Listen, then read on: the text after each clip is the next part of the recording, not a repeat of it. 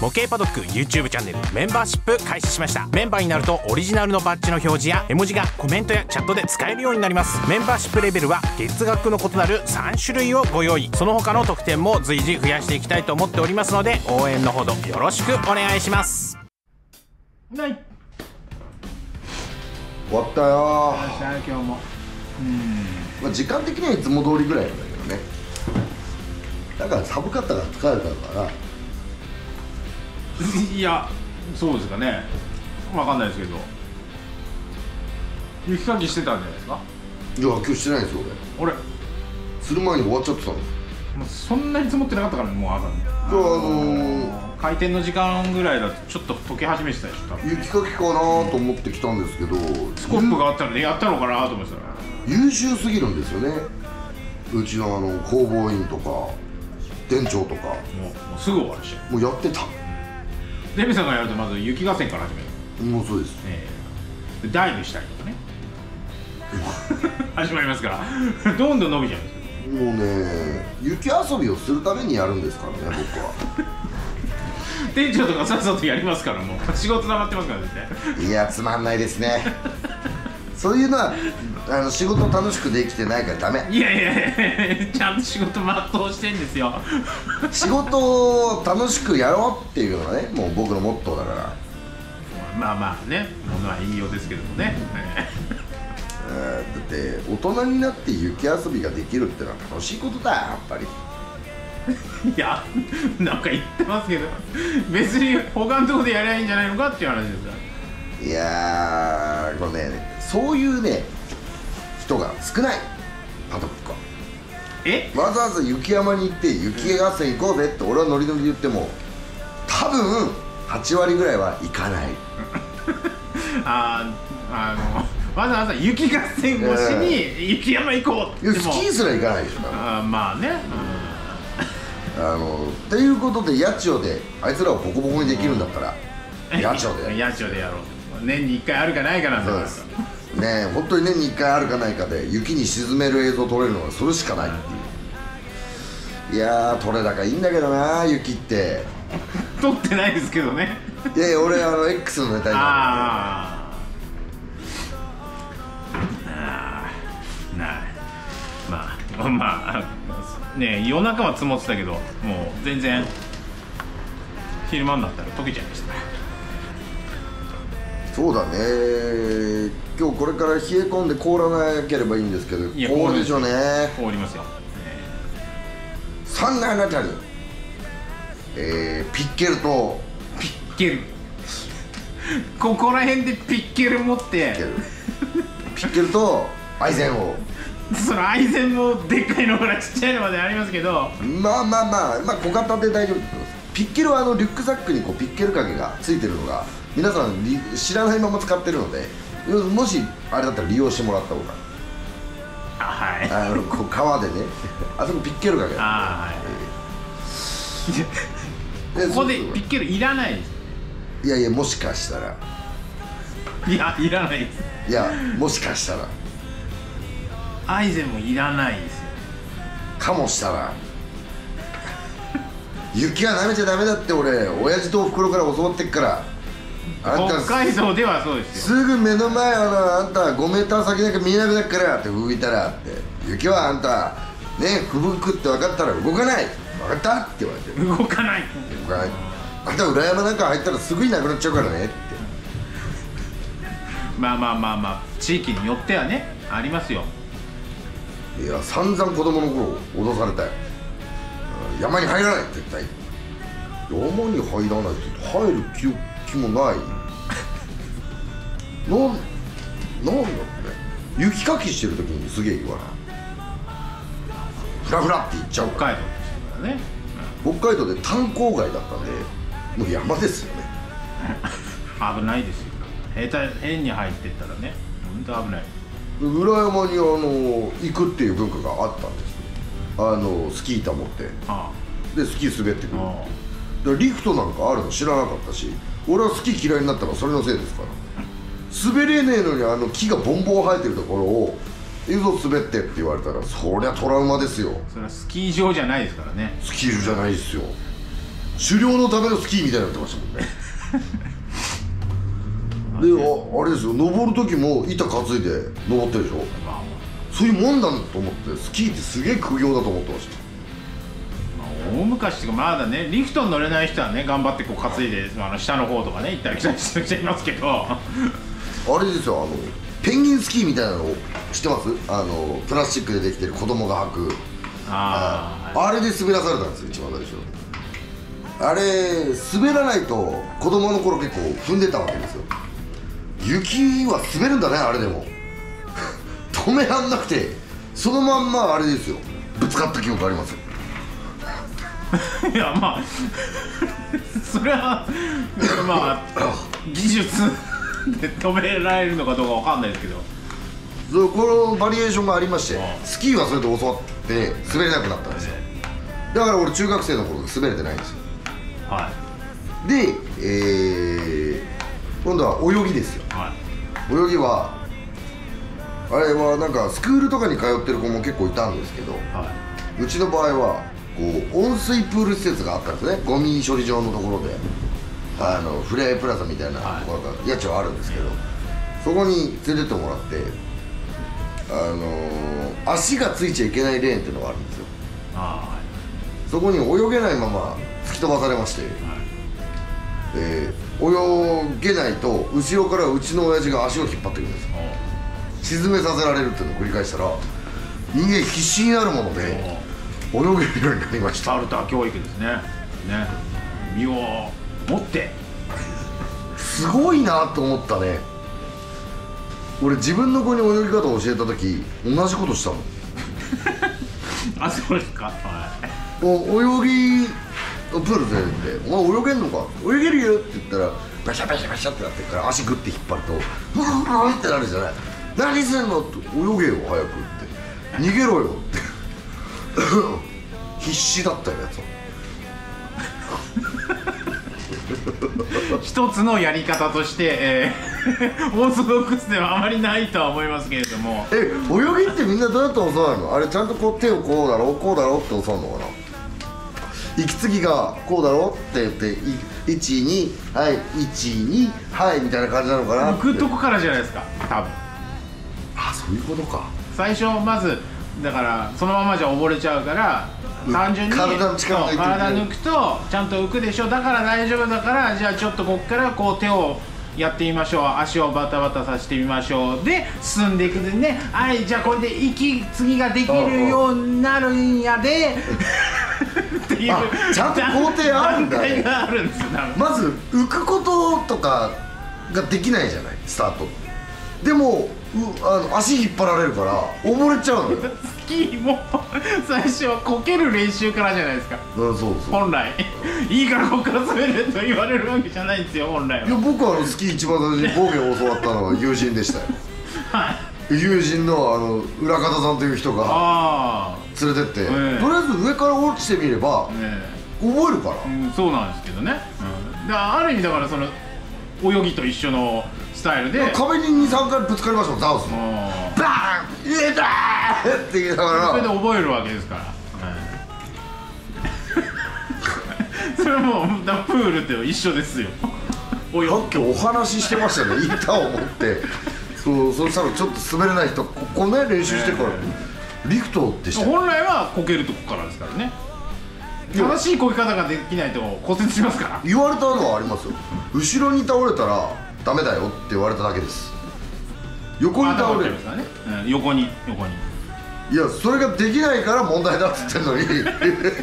で本来はちゃんとあのーこける練習からスタートした方が安全ですよ。でも時間かかりますから。かけなさい。あの船橋のララポートのところにあったあのザウス行った時にこけ方なんて覚えてないですよ。そのまんま。まあでもほら今はスキーもね行かれるんですからいいじゃないですか。でもねパラレルを覚える時ははめっちゃこけた。あ感覚が分かんなくて足を閉じるでしょ。体重移動するでしょ。逆エッジかかるでしょ。バーンとこう飛ぶでしょ。なんでだろう。そうするとこうなんか膝とか腰とかを使ってこうああなるほど。こういう重心移動なんだって分かるまでものすごい転んだ。あのーもうバカな友人に教わったやり方をしたせいでお上から降りてくればいいんだっつったらもう中腹で何度こけたことか。いやそれが一番やっぱ手っ取り早いですよ。でさらにそういう教わり方をした私は人に物を教えるってことはできないわけでいやいやその同じ教え方をして。翼にやってみましたよ。あいつは狭山のスキー場から2回転半して飛んできましたよ。うわーすっげーって「お前大丈夫か?」「いやすっげえわ」前方に転がってったって言って。なんてデメさんなんかあの身を挺してモーグルの練習してたらね骨盤やっちゃいましたからモねーグルは素人やっちゃダメ。もうそれはあのいきなり行くっていうので。ダメ。ダメ。ちょ高いところに行く時にはちちょょっと。もうジャンプしたくなっちゃうんですよ。俺2メーターぐらいだと思ってた。ジャンプしてあのコサックとかねなんかこういうポジション決めたかったんでしょうね。え全然そんなのならなくて変える？でプシュってこういってきましたねいいってああ言ったねこれ。ああそうそうそう。でスキーとか。で昔自転車の乗り方を教わる時俺補助輪勝手に外されたな。でもそれはあるんじゃない？みんな自転車。片輪速攻外されたんだよね初め浮かされたんだよ。ね後ろ持ってて持っててねっつって知らないうちに手離して一人でうんいけてるみたいなさ。それだって荒領事みたいなもんじゃないですか。簡単に言えば。今なんだろう？自転車教室とかあんのかな？まあ。こうヘルメットしたり全部つけて。んですか？わかんない。商売になりそうだよね。なります。あるじゃん。自転車乗れるように教えますって言ったらでもすぐ乗れるようになるよ大変。大抵の人は。ちょっとあの障害を抱えてるとかねそういうのはちょっと難しい場合あるだろうけど。えでも大人になって乗れない人も結構いるらしいじゃん。なの？自転車。で子供の頃は乗ってたけど大人になってから乗ってないからちょっと慣れないっていうのはあるんですね。あと逆上がりを教える体操教育とか。ああ機械体操とかね。であっちは専門な気がするけ鉄どねダメだよ。あれはスパルタした。死んじゃうから。首の骨折れたりするから。俺はあの間違った教わり方をしてるから人に物を教える時は過激になるのはしょうがない。よ経験してんだからそれしかないんだから。ああまあじゃあじゃあ泳ぎとスキーはもうスパルタでしか行けないということで。怪我をしたら懲りるだろ？って言われるから。ああ確かにデメさんに泳ぎとスキーを教わってみたいという方はそのスパルタで。泳ぎはとりあえずあの泳げなかったらマジで溺れるんで足引っ張りますから。まあまあまあまだスキーはいいかもしれないけどおっさんがねおっさん同士でプールに行って海パン一丁で「よし!」って言ってこうやってたらやべえいやつだと思う。ちゃんと決まりがあるんですよ引っ張る時に、はい。バタ足してないで引っ張るんですよ。水を蹴ってないから。あ取れちゃうでしょ足が。だからこれはね俺親父流のやつでねよくできてるなと思ったのが足を取られたくなかったらバタバタするじゃん。取れないじゃん。進むんだよね。ああ理にかなってるなって思ったけど危ない。あ まあいるからね。まだね、え え。大人同士だとね溺れた人に血がまれる。血が見つかれたらやばいからね。やっぱプールだからいいんだろうね。まだ足がつそうそう。海だったら死んじゃうからね子供だったらねまだしがみつかれても大人もねなんとかいけるだろうけど。でも俺それでもね亡くなっちゃう人いますからね。意外なのはねいけないと。平泳ぎは逆にできないの。平泳ぎは足掴まれちゃうから。こうそうそう。ピューって蹴って伸びるじゃん。毛伸びするじゃん。毛伸びした時にパシッて掴まれるから。いいや掴まれないでしょ普段は。やいやあれね俺だできないの。よ平泳ぎ それ習ってないってことなるとか全くなまあ、る習ってないというかあのー捕まるから水泳方法としてそれじゃダメなんだと。でもね平泳ぎの方が生存確率は上がるって言われる。ああまあね。体力遠泳みたいなやつだとあのクロールより平泳ぎでこうスーッ中学の検定とかあったじゃん水泳授業の。あの何級になりますみたいなの最後のテストの時に平泳ぎか背泳ぎって言われて俺は背泳ぎを選んだああなんかあったかも平泳ぎができないから。ああの平泳ぎで 25m ただ単に泳ぐだけばいいっていうだけだったんだけどあのー、25メーターを何秒以内っていうのがクロールでそれまあお互い泳げた方だから普通に行ったさ。クラスでここが早かったですからね一早かった番ね早かった。えそれでやってみたら背泳ぎしかできないから平泳ぎは足掴まれるって思い出があるから。あのねトラウマになるよ。ああいう教え方すると。でも覚えるんだなと思ったよ。えでも泳ぎでいうとですね、あれですね北広島市北海道。の。はあの旅行でね、あの千葉音楽組のメンバーでいはい。はい3人で行った時なんですよ。であのまあ愛さんっていうはい。おじさんがいるんですけどホテルにプールがあってもう昼間っからなんか川を見るたびに5月ぐらいなんだけど川を見て泳ぎたいなーって言って えちょっと頭おかしいのたのだから泳いでくればいいんじゃないですかと。うん。死にますよと。さすがに冷たいですよと。北言ってたんだけどホテルの地下にプールがあっておう。おう泳ぎたいなって言うからでも昼間っからずーっと行ってたしなーと思ってうんでももう一人のねワイズギターさんはは。はい、いや、え俺行かない。って冷たく言うから、じゃあ俺行きますよ、いいっすよ、一緒に行きましょうよ。ずーっと愛さんは泳ぎたい、泳ぎたいっすよだから。で、ね、ホテルで海パンなんか持ってってないから泳ごうと思ってないから借りる。借りて、レンタルで借りて、着替え始めたら、愛さんは、ちょっとお腹痛い。お腹痛い先泳いでてって言うから。でまあはいじゃあ行ってますよっつって。お一人でお25メータープールをさまあ軽く泳いでた。泳いでも泳いでも10分経っても20分経っても来ないんだよ愛さんは。これどうしようかなと思ってもうもう十何本泳いじゃってるわけ もうかなりアップ状態ですよでも誰も泳いでないから若干不気味なんだよ。まあまあまあまあ。誰もいない地下のプールで。俺は20分間ぐらいずっと泳がされてて。でやっとね25分ぐらいしてやっと戻ってきたの。えー、ちょっとお腹ちょっと調子悪かったよとか言って。いやもう愛さん俺もう結構泳いでるから疲れちゃいましたよって。え？一緒に泳ごうよ。はい。あーじゃあちょこっとだけちょこっとだけ。よしっつってもうやる気満々む愛さんはね。えーじゃあ競争だっつって。でもこっちはもうアップもできてるし。ねまあ一応中学時代は早い方でしたから。ね愛さん全然こう勝てないわけよ俺には。え泳いでたわけじゃないの普段か何が？ら愛さんは？いや知らない。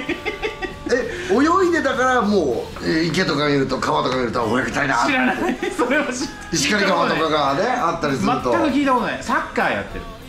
ああのスポーツは好きなの。サッカーをやってたから多分まあうん泳ぎたかった。でもねもう1本目俺が勝つ2本目3本目全部俺が勝つわけですよ。もうそろそろ俺も疲れてくるからそりゃそうもうもう疲れましたよもういいじゃないですかと。ちょっと休憩しますわって言ってんだけどえもう一本もう一本。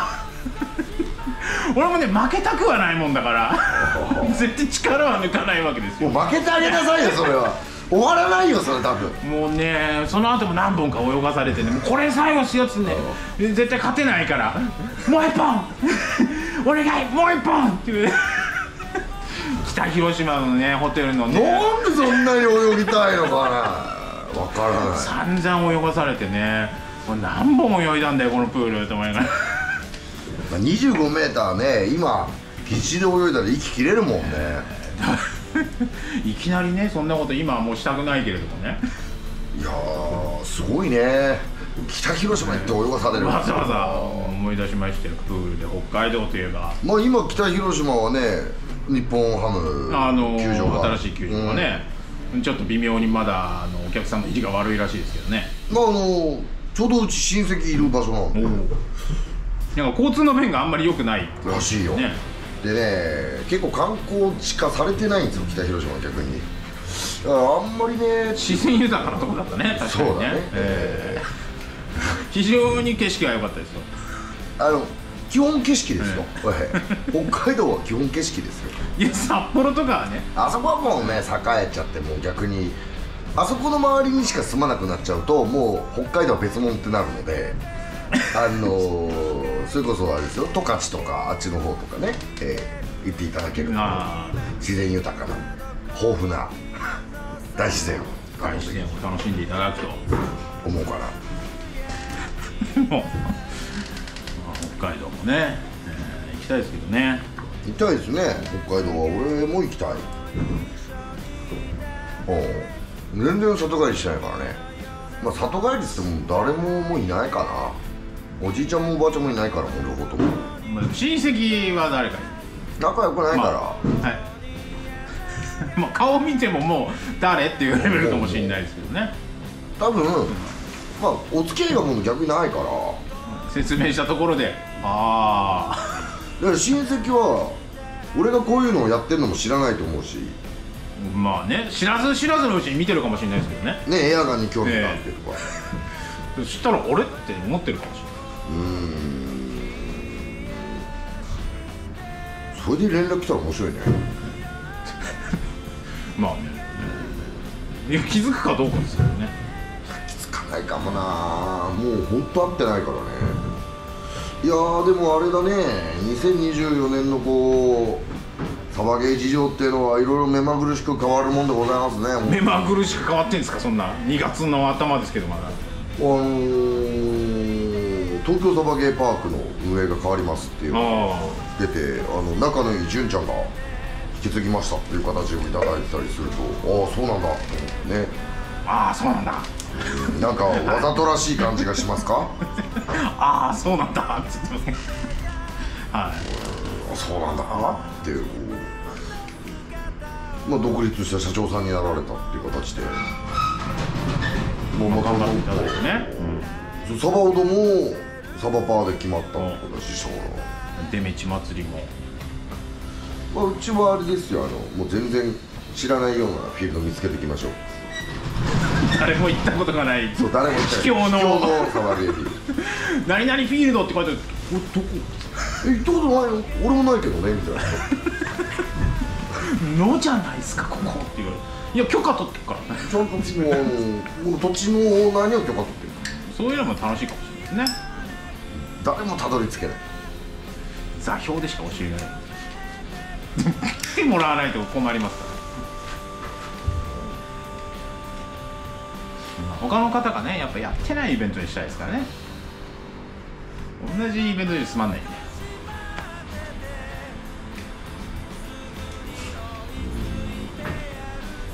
結構できってるのはできってんだけどね。まあまだまだ新しい可能性いっぱいあるだろうけど。まあそこをねなんとかね新しいものをこう出していきたいなと思ってますけどね。まあ今までのものもあるとは思うんですけど全部が全部ね新しいものって言ったらそれサバイバルゲームじゃないんじゃない？まあやっぱりあれじゃない？座標しか教わらないっていうのは。まあでも一応祭りなんで。探す祭り。探し祭り。探探し探し祭り。探しの祭りだと思われちゃってみんな佐賀に行かれちゃっても困っちゃいますけどね。まあまあまあまあまあね。そうね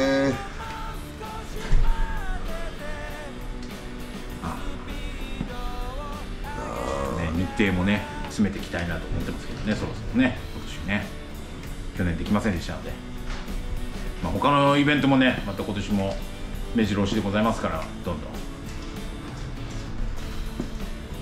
えー3月まではねとりあえずは。2月の間はないんでまた、えー3月からいろんなところに顔を出させてもらえるのかなと。まあまあ随時ね決まれば出店と4かがあれば月28日にバトルさん決まりましたね。去年やったコラボの、えーコラボゲームですね。パドックとの。コラボ。コラボで。前回やって、えー皆様からいいお声をいただいたイベントが今年もやるよっていうのが4月28日に決定しました。ねそれはねコメントをいただいてましたね。あのバトルさんのコラボゲームの動画上がらないんですか？私が言ってないので上がりません。と、え。ね、他に撮ってるメンバーがいれば上がるかもしれませんが私は 知りません。いやもう全然あの撮ってくれっていう依頼をしてないからないですねああいう時は。うん。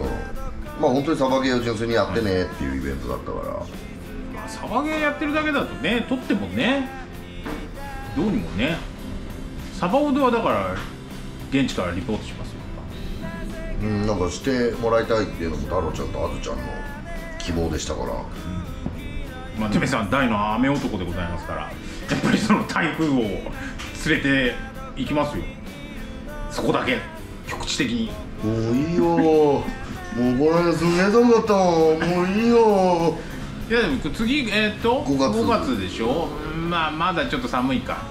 まあちょっとあ、まあ、今よりはね。もういいよ。もうもうもう。も5月に台風が来てるっていうね、うん、わけわかんない設定でいきましょうよ。もう一箇所バンド出るっつうからそこにも任せてたにもう一箇所出る。出る。もう一個バンドが出るってことだそっちにも任せて今回はうちはあのあ物販に専念っていう形でダメだって怒られたの。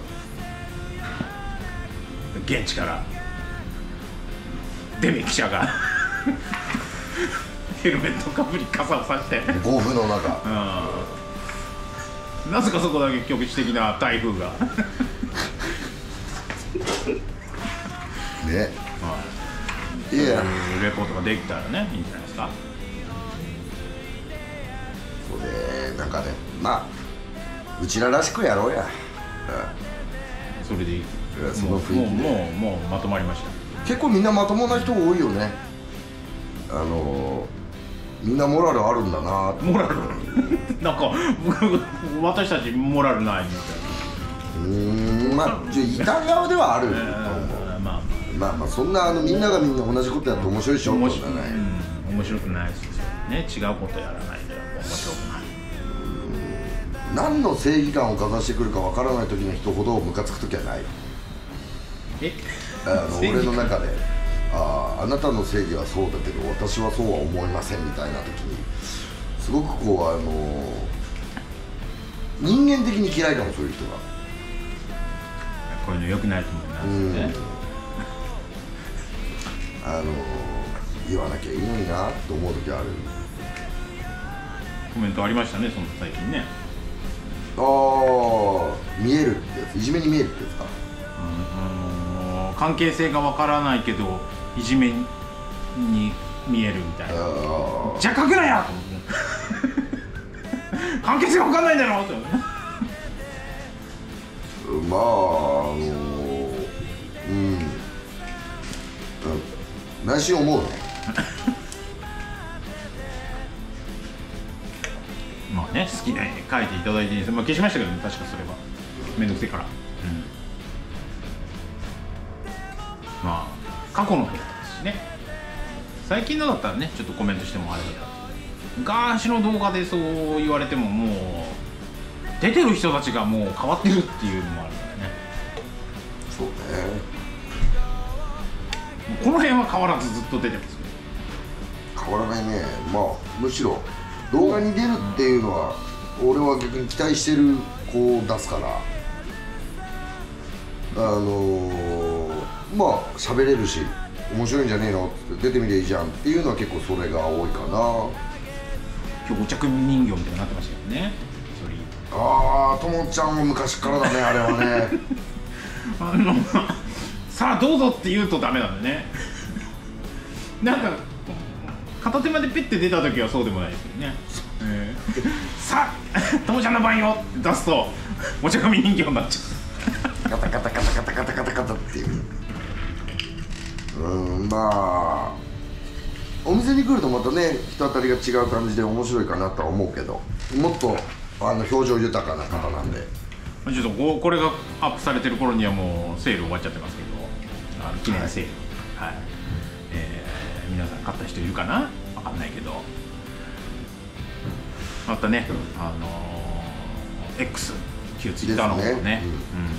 うん、日々更新されておりますんでぜひ、えーパドックの中古市場ですね。はい。フォローして見ていただければと思いますが、えー更新私全然見てないんで X さんがおー。X になってからなんかうちのサイトで見てもおかしいんですよね。Twitter の時はちゃんとリンクされてたんですけど。ああホームページのあのリンクはいはい。はいだからあの X になってからうまく連動してないからなんかものすごい過去の記事みたいになってるんですけど毎日上げてるんで本来。ああそっち俺確認してないからだけどまああそこのやつはしょうがないですよね。違う方式のやつを頼まないと。多分リアルタイムじゃなくなっちゃってるんでね。遅延が起きてて古いのがまだ上がってればいいけどその止まっちゃってるかもしれないね。あるかもしれない。まあまあまあ直接 X の方フォローしていただいて見ていただければほぼ毎日のようにね上がってますよね、ね。って感じですかね。ともちゃんがたまに言われますけど見た？何を？あのああ。若干中毒なんで。もうもう完璧にねハマってるなと思って。あのねって その全員がリアルタイムで常に見てるわけじゃないのよ。わかる。気持ちはわかるよ、うん、俺も自分でアップしたやつを やっぱりこうお客さんがねあれ見ましたって言われてもいつのですか？わかんないですけどって。あの時こう言ってましたよね。わかんないなまああのーいっぱいあるんだけどね。逆に中毒性をね持たせてくれるぐらいになってくれるといいよなって俺らもあ見なきゃっていうぐらいになるといいなと。まあ中古がアップされてもそんなにこう購買意欲僕らないですからね。元から、あのー中古欲しいって思ってない。あんまり僕ら見ない方がいいと思いますよ。突っ込まれますよ。うん、なんじゃこりゃって思う。なんじゃこりゃっていう逆に伸び伸びできなくなっちゃうんで。あのあのともちゃんの撮ってるあの X の画像とかもあもうちょっとこう撮った方がかっこいいんじゃないかなとかいや言うのはやめとこう。今ので伸びてるんだからともちゃんの視点でやってるんだからあんまり変なこと言わない方がいいかなと思って言わないんだけど。そうね。ねそれぞれこだわりがあるからね自分のセンスでやってもらったそう方が、ね、そうそうそうその方がいいと思いますよ。伸び伸びね。あのアクセスをともちゃん節が炸裂するといいかなと思いますし。変にね言ってねこ萎縮しちゃうよりは。うよりはね伸び伸びと、まあ、皆さんもそういう生温かい目でね見てあげてい応援していただければとね思ってますんでね。はい。さあ終わりましょうか。今日も、えー告知と。ガンズ・オブ・メモリーズ2本と質問コーナー15本。はい気取り18本だもんね。はとまあちょこっとねあれもありますけどね前後の、まあ、このコーナーこの後日談もねありました。け どまあ20本近く取ってるってことですね。はい。あ終わろう。はい、はい。ね。しまったね。しまった。お疲れ様でございましたデメ裏に聞きたいコーナートークテーマ募集中です。デメちゃん裏方さんに聞いてみたい話語ってほしい話エアガンサバゲーカスタム装備品その他の悩み尋問何でも OK デメ裏が動画にてざっくばらんに答えます。投稿方法は YouTube コメント欄かホームからエントリー。皆様からのご投稿お待ちしております。